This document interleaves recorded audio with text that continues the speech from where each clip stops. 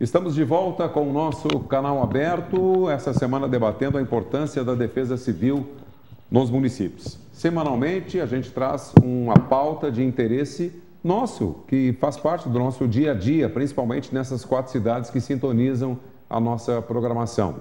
Estamos agora com a presença também do Tenente Fonseca, o coordenador da Defesa Civil da cidade de Campo Bom, e o Leandro Batista da Costa, coordenador da Defesa Civil da cidade de Sapiranga. Vamos começar então. Quero a, a, que o Tenente Fonseca apresente aí a, coordena, a, coordenação lá da Defesa Civil é sua. Quantos agentes senhor in, integram a, Defesa Civil da sua cidade? Apresente para a gente a Defesa Civil da cidade de Campo Bom. Seja bem-vindo. Pois não. Gostaria de saudar todos os presentes, né? Ah, quem está assistindo essa programação e dizer que é uma satisfação poder estar aqui nessa casa uh, divulgando um pouco da Defesa Civil do nosso município de Campo Bom. A Defesa Civil de Campo Bom, apesar de existir na legislação há bastante tempo em Campo Bom, ela, eh, por um longo tempo, ela não, não era uma defesa civil atuante, não era organizada tecnicamente no município. Uh, eu fui contratado para fazer parte uh, da Defesa Civil e fazer parte da segurança principalmente a segurança contra incêndio do município, uh, já no final de 2014. E a, a, partir de 2015 nós começamos então a organizar a Defesa Civil, que podemos dizer que ainda é bastante incipiente, ainda é bastante pequena. Temos alguns projetos em andamento e outros projetos uh, para o futuro na, na, Defesa Civil, mas atualmente nós trabalhamos, uh, eu como coordenador da Defesa Civil, eu tenho uma funcionária do município que ela faz a parte de secretaria da Defesa Civil e mais uma estagiária que também nos auxilia tanto na Defesa Civil quanto na parte de segurança contra incêndio dos prédios públicos, que também entendemos que é bastante importante.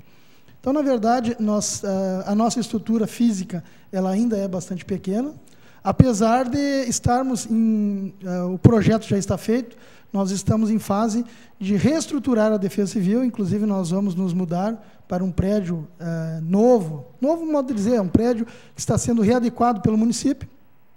Era utilizado no passado pela organização de, bombe de, de escoteiros no município, num prédio do município, e agora está feito, uh, o projeto já está feito, e provavelmente aí nos próximos dois, três meses uh, seja feita a execução dessa obra. Então a Defesa Civil de Cambon terá um prédio exclusivo né, para dar uma identidade para a Defesa Civil.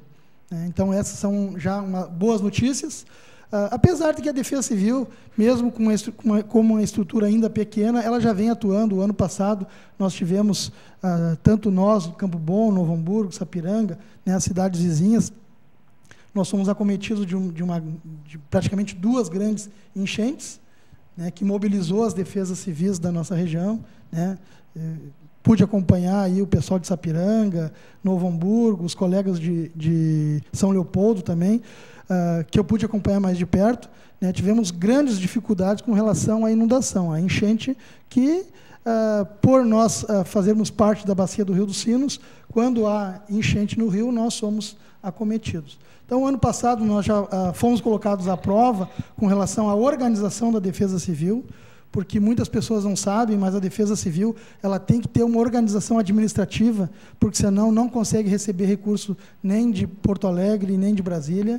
Então, nós precisamos ter uma estrutura por trás na Defesa Civil para que o prefeito possa decretar uma situação de emergência ou um estado de calamidade pública e nós possamos ser reconhecidos por Brasília, porque senão não recebemos recursos as comunidades atingidas não conseguem sacar uh, fundo de garantia né, e, os, e os, os, recursos né, que advêm de, tanto a nível de Estado quanto de Brasília. Então, nós fomos acometidos por esse sinistro ano passado, conseguimos fazer todo o suporte administrativo, fomos reconhecidos, a nossa situação de emergência foi reconhecida uh, pela União, e as famílias, então, que foram acometidas uh, por essa enchente puderam sacar fundo de garantia.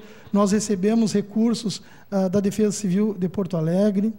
Atualmente já possuímos um plano de contingência, que acredito que as defesas civis da região ou estão fazendo ou já fizeram.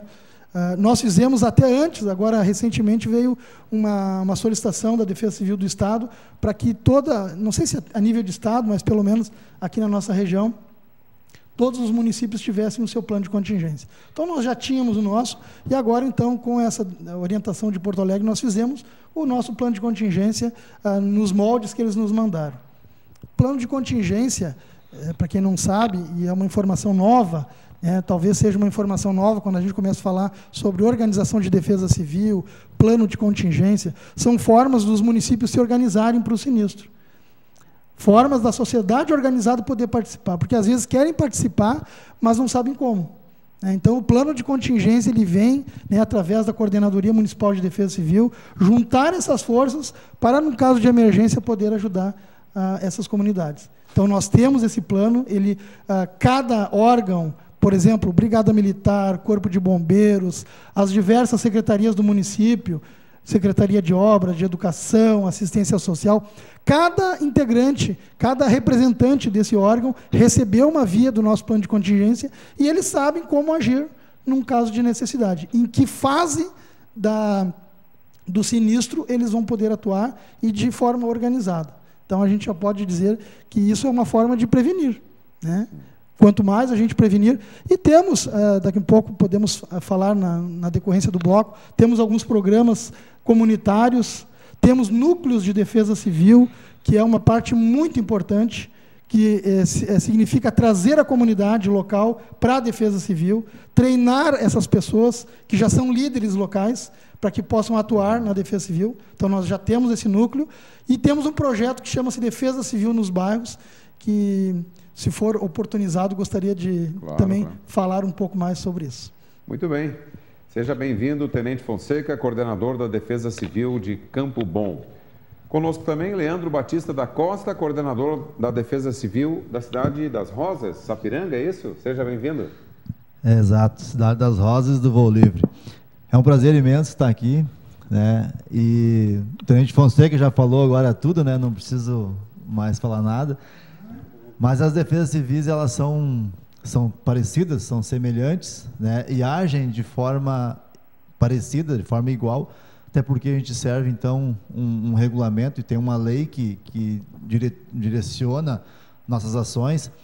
E como os municípios aqui são, são vizinhos e eles são atingidos pelo mesmo fenômeno, digamos assim, as nossas ações são semelhantes. Né? Quando um está sofrendo, o outro também está. Então, quando um está sorrindo, o outro também está. Mas a Defesa Civil de Sapiranga, da mesma forma que o Tenente Fonseca apresentou, é, infelizmente, é, nos últimos anos, é que vem, tem tido assim alguma coisa relevante. Ela já existe há mais de 10 anos no papel. Somente em 2013, é, em janeiro de 2013, quando eu assumi ali, é, eu fui procurar a documentação, fui procurar o que tinha para a gente poder dar continuidade no, na, na, nos trabalhos. Eu não achei nada. Eu achei uma, alguns documentos que estavam extraviados, mas não tinha nada. Não tinha plano, não tinha planilha, não tinha nada. Então a gente começou devagarinho, começou a trabalhar, formamos um grupo. Né? Então os trabalhos eles vão sendo é, desenvolvidos na maneira também é, de verbas, na maneira que vai aparecendo oportunidades. Hoje a gente tem uma parceria muito importante, que isso acredito eu que os outros municípios também têm, e não é possível mais se trabalhar sozinho. Existia um tempo atrás onde a gente via os órgãos trabalhando sozinho. A Brigada Militar, a Polícia Rodoviária, o Corpo de Bombeiros, cada um no seu quadrado. Hoje não tem mais pela, né, pela situação financeira que encontra o país, o estado e os municípios, hoje nós temos que agregar essas forças umas às outras para poder trabalhar. Em Sapiranga não é diferente, temos lá o Corpo de Bombeiros que é para nós um, um, uma entidade muito importante, dá o suporte 24 horas para a Defesa Civil. Então, Secretaria de Obras, muito importante. Então, assim, a gente tenta é, é, fazer o melhor. Hoje a gente tem é, já reservas de material, coisa que a gente nunca teve. Nós temos uma ambulância hoje da Defesa Civil, uma ambulância nova à disposição da sociedade para a gente poder usar. A gente tem guincho, a gente tem então um material assim que nunca teve, né? A gente vem trabalhando no dia a dia, é, capacitando também é, é, mais pessoas, até por essa ideia de que a gente não faz nada sozinho. Faz agora mais ou menos uns dois meses a gente capacitou 81 é, é, funcionário público da área da saúde para que em treinamento, né, em atendimento pré-hospitalar e também a gente fez um reconhecimento na nossa área ribeirinha, onde que tem a comunidade que é mais atingida, né, para poder então ter mais gente é, é, sabendo trabalhar, sabendo o que fazer. E como o tenente disse ali, é, quando dá o problema, não é preciso chegar um a um para dizer o que eles precisam fazer. Eles já sabem o que tem que fazer. Então, esse plano de contingência, essa situação que a gente vem desenvolvendo nos últimos meses, dias, isso vai, né, isso nos ajuda muito na hora que a gente precisa lá chegar e, e atender a, a, família. Então, assim, para que a gente possa é, ser bem transparente, né, a Defesa Civil, ela está preparada? Não. As defesas civis nunca vão estar preparadas, porque a gente não sabe o que, que a gente vai enfrentar. Pode ser uma enxurrada, pode ser um, uma chuva aí intensa por vários dias, pode ser seca, pode ser, enfim, nós não sabemos o que vamos enfrentar. Mas a gente com certeza vai trabalhando em cima das estimativas, em cima daquilo que já aconteceu nos últimos anos e vem acontecendo, para que possamos estar cada vez mais preparados, né, mas é, é, com uma, uma boa reflexão de que não posso ficar tranquilo. Eu tenho material, eu tenho gente, tenho equipamento, tenho máquina, mas eu não posso ficar tranquilo, não posso dormir de toca nesse, na situação aí, porque eu vou, vou passar vergonha e vou passar necessidade. Muito bem, seja bem-vindo também, Leandro Batista da Costa. Agora sim, estamos aí com as quatro cidades que sintonizam a nossa programação. A cidade de Estância Velha, Marcos, também existe esse plano já? Como é que está o andamento? Nós já deram início lá? Agora em abril que nós assumimos a pasta, né? Então nós estamos em, forma, em reformulação do plano de contingência, né? Então nós até o próximo mês já deve já estar pronto já. Uhum. Edson, Novo Hamburgo. É, o nosso plano de contingência ele existe desde 2009. Já, né? é, ele foi reformulado em 2013, quando eu assumi a Defesa Civil. Né? Inclusive foi utilizado pela Defesa Civil do Estado como modelo, né? na gestão passada aí do governo passado. Então, assim, é, é realmente ele, ele o, o, plano de contingência ele tem que contemplar toda a estrutura do município. Né? Tem que trazer para dentro da Defesa Civil toda a estrutura. Né? E Novo Hamburgo não é diferente. Né? A gente trabalha e, e tem uh, tido grande apoio de todas as secretarias, né? inclusive uh, da minha casa, que é a Guarda Municipal. Né? O colega falou que o comando de distância está com a Guarda. Eu também sou guarda municipal, já há 24 anos. Uhum. Né? Uh, e o que antecedeu a mim também era da Guarda. E a gente e hoje também a, a base da Defesa Civil fica dentro da Guarda. Da guarda. Né? É.